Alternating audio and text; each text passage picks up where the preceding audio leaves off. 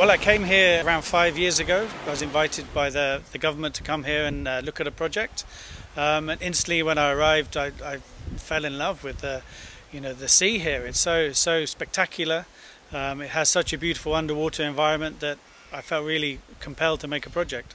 I think I was most interested working here because I've seen a, a lot of underwater places around the world, and I think when people imagine the sea, they often think of, of coral reefs and and of big, you know, pelagic creatures. Uh, but when I when I came here, I actually saw an underwater world that was, you know, really beautiful, really pristine, and and uh, uh, you know, something that was hadn't been explored artistically. We looked at several different concepts for for the islands. Um, and we, you know, decided on, on a theme around uh, a mask. And at first, I was I wasn't sure how that would work out, but um, it's actually quite interesting, you know, because it obviously relates to the performing arts of Cannes. Um, it also relates to the man with the iron mask and the story on the island.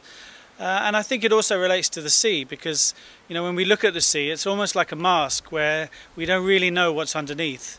And, and I wanted to show that underneath this mask is it's an actually a, a very beautiful, beautiful and, and fragile space. I think there's many, many things, you know, very special about the islands. Um, you know, first of all, obviously the, the history. As soon as you arrive there, the, the smell of the of the pine and the and just the you know the, the sense that you're stepping on in a, in a place with so much you know uh, history.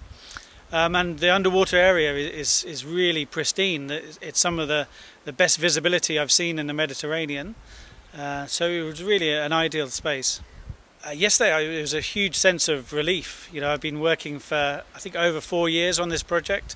Uh, it's taken quite some time to do the environmental studies, to to choose the exact location, to you know to develop the concepts of the sculptures, and, and then to also make them and install them. So it's been a really long process. So there was a, a profound sense of, of, relief that they're installed. For, for me, one of the most special times was I actually uh, got to, to stay on the island uh, during the summer when I made the casts of all the different people. Um, and it felt like a real privilege because nobody else was staying there. Um, and it was a, a, really special time for me, and I, I really enjoyed it. Um, it's certainly the first uh, COVID-friendly museum in France. Um, so it's one of the one places where you can go and, and be socially distant from everybody else. Um, and it's obviously, for me, one of the first projects that I've ever done in the Mediterranean. So uh, it's a huge privilege.